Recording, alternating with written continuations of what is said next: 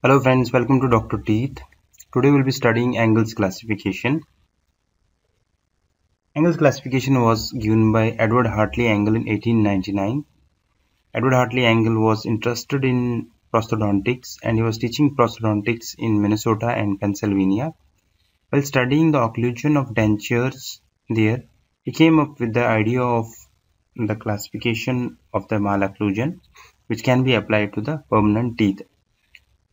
Angle was the person who coined term malocclusion to show the uh, to show the different positions of the uh, teeth, teeth which are not normal. This is one of the basic and revolutionary classifications in history which revolutionized uh, the classification system. His classification was uh, based on the position of the maxillary first permanent molar and he classified malocclusions into four main classes. Before coming to malocclusion, let's see what angle described occlusion as. We describe normal occlusion as evenly placed of rows arranged in a graceful curve with harmony between upper and the lower arch. These are the two images which Angle used in his article to describe a normal occlusion. You can see he has marked the position of the maxillary upper first permanent molar and the mandibular first permanent molar and apart from that canines also. So these are the four classes of occlusion which Angle gave. He described normal occlusion, class 1 occlusion, class 2 malocclusion and class 3 malocclusion. These classification systems which we will be studying one by one. First coming to normal occlusion, Angle described three characters of a normal occlusion. First, the no there will be normal anterior-posterior relationship between maxilla and the mandible. In a normal individual, the maxilla is slightly forwardly placed as compared to the mandible. So there will be normal anterior posterior relationship between the maxilla and the ma mandible. Then there will be normal molar relationship. So what is a normal molar relationship? As you can see here, normal molar relationship, the mesiobuccal cusp of the upper first permanent molar occludes in the buccal groove of the mandibular first permanent molar. So normal occlusion will have normal molar relationship that is class uh, 1 molar relationship which we call. And then the line of occlusion is a smooth curve. Okay? So here we can see the maxillary first permanent molar mesiobuccal cusp occluding with the buccal groove of the mandibular first permanent molar. This was the image used by the angle to describe the molar relationship. And talking about line of occlusion is very important Angle described that if we draw a line or just place a wire over the occlusal surfaces of the occlusal surface of the posteriors and the incisal surface of the anteriors, it should be in a smooth curve which he called as line of occlusion.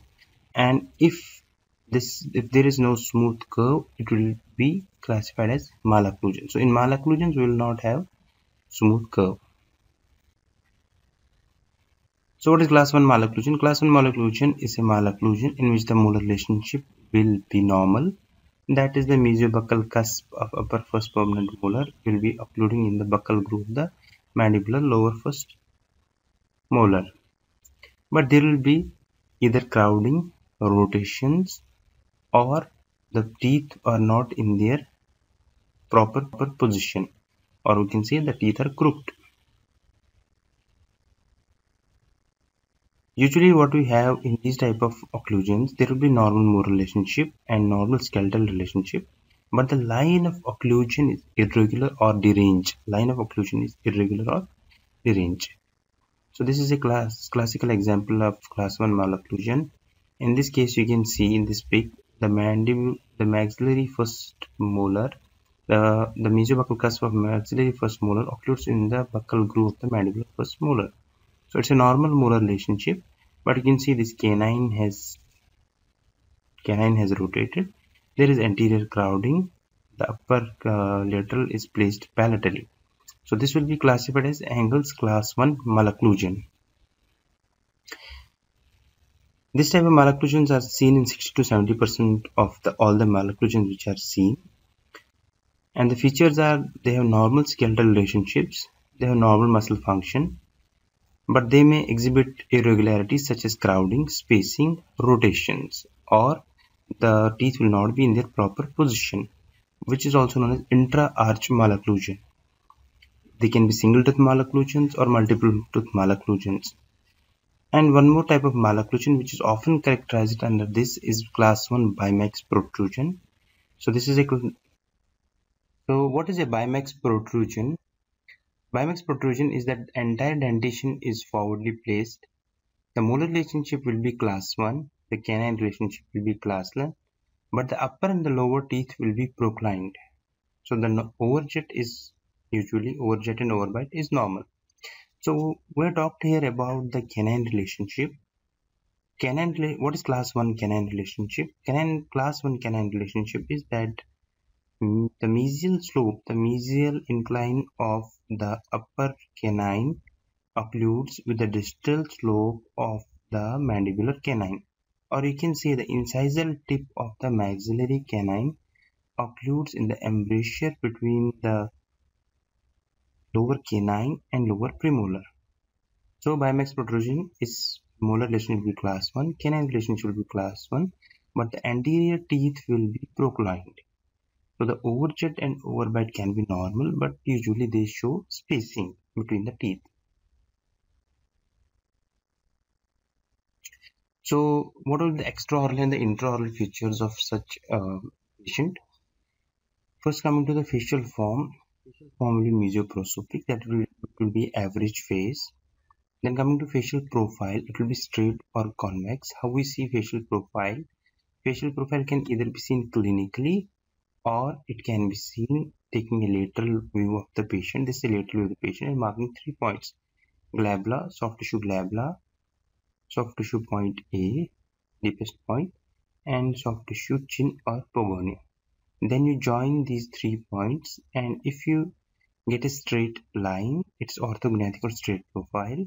Or if you get an angular measurement like convex, okay, like this angle you get convex. So this is a convex profile. So usually what we see the class 1 molar relationship malocclusions have straight orthognathic or slightly convex profile. Facial divergence. In facial divergence, you join the soft tissue glabella and the soft tissue chin or the soft tissue pogonion. So if this line, only two points to join, this line is uh, straight, it will be, uh, usually it will be straight in the class 1 uh, malocclusion and uh, it can be anterior divergence or posterior divergence depending on the malocclusion which we'll be studying in the coming slides. So coming to nasal labial angle, how nasal labial angle is formed, you just draw a tan tangent to the base of the nose like this and you just draw a tangent on the lip and measure the angle. So this angle is nasolabial angle. Usually it's 90 to 110. Normal is 190 to 110. Lips are competent. That is while the patient is in rest, you ask the patient to uh, say MMM or Mississippi, Mississippi. And once the patient comes to rest, his teeth, his sorry, his lips will be covering his teeth, or there can be one to two mm space between the lips, which is considered as normal. So you can see everything is normal. So you can see everything is normal extraorally, but intraorally, the patient will have the molar relationship will be class 1, the canine relationship will be class 1, as described what is class 1 canine relationship?